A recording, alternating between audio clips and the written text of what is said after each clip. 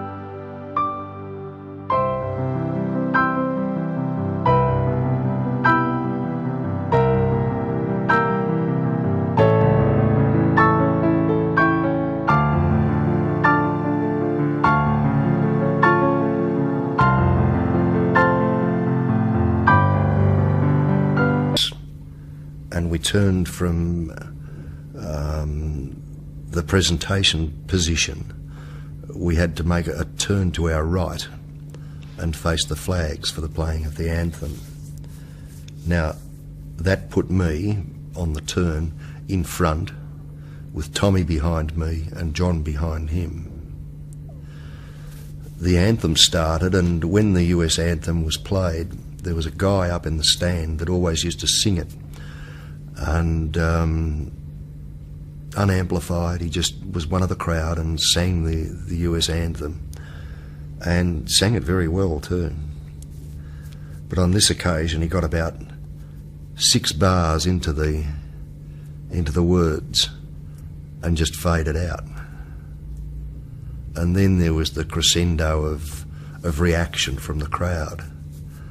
And it was then that I knew that Tommie and John had had carried out what they said they were going to.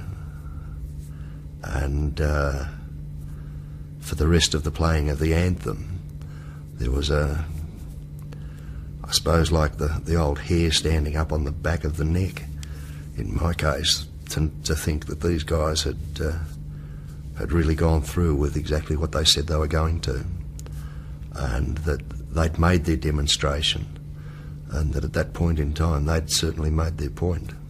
They made a stand that uh, at the time was misconstrued by a lot of people.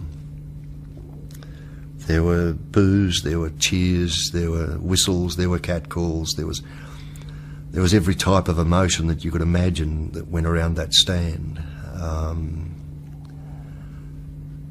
while Tommie and John proudly demonstrated for what they believed in more than anything else in the world at that time they they could have they could have not raised the fist.